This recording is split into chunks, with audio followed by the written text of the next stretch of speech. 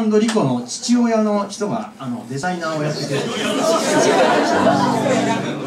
父親役の人がですねあのリハーサルあの僕らのアルバムのあの、デザインをしてくれたりとかフライヤーのデザインしてくれてるんですけどリハの時に「あの村とリコが歌いたいって言ってましたよ」っ てちょっと言って「えっ!」ってなって「じゃあ今度ゲストにぜひ出てください」って言ってもうほとんど全曲出てもらう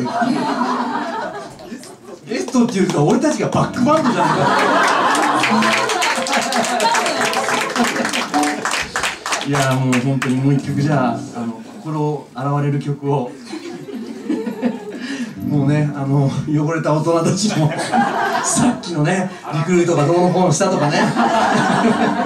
倒れないぞとかもう本当にもう苦しい苦しい中年の叫びをですねあそう洗洗い流してもらう、えー神様私にピアノをください。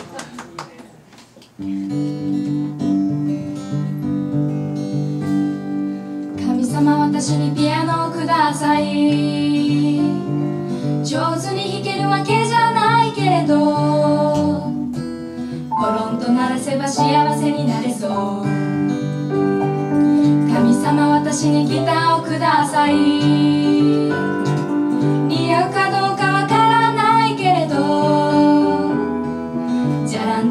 ら幸せになれそう。神様私にバイクをください。免許はこれからというんだけれども。風切って走れば幸せになれそう。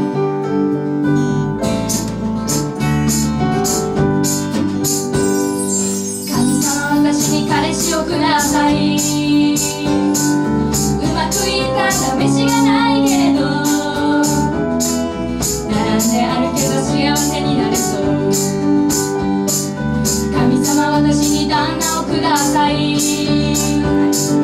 パパとママは別れちゃだけれどウェディングドレスは幸せになれそう神様私にお金をください。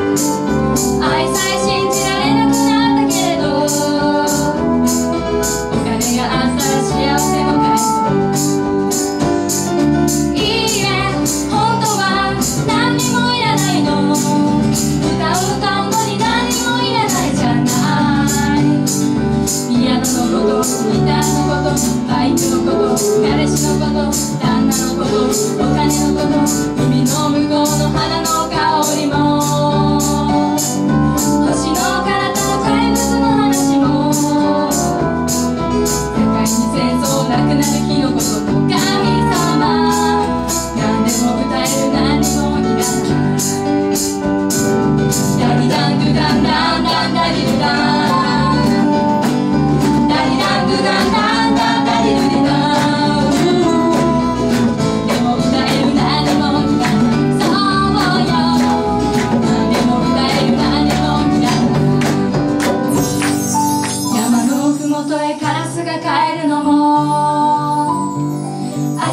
眩しい子供のあくびでも何でも歌える何もいらない。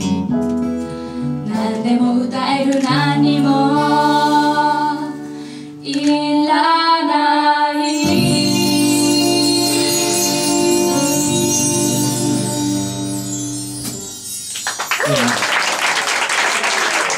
イエーイですね。